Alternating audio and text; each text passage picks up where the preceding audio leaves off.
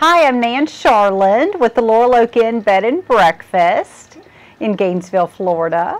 So we are a five bedroom bed and breakfast. So we're very traditional. We serve um, breakfast in the morning and it's like a gourmet breakfast. So it's not your continental style.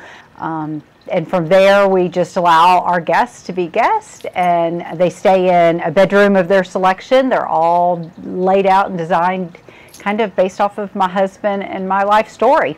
Our Thursday through Sunday checkout is usually driven by the university and whatever is going on there, be it any of the sports from football, which is humongous for us, to graduation.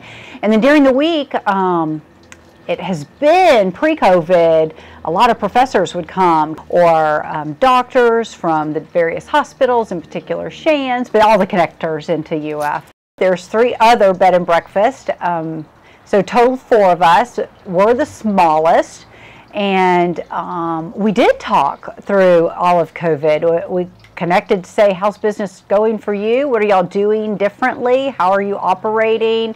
Um, from are you serving breakfast? Are you changing thing, you know, making the beds during the guest stay and kind of what services are you providing? So we did talk. Our weekends are fantastic. So um, the weekdays are a little bit slower, um, slower than we were familiar with prior to COVID. Um, but our weekends are probably busier than COVID prior to COVID.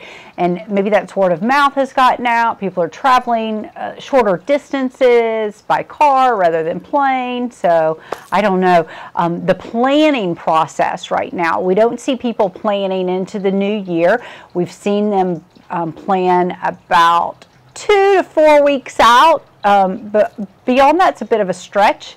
But um, we're pretty busy right now and every weekend until the end of the year. We just see people out and experiencing and trying to enjoy life, right?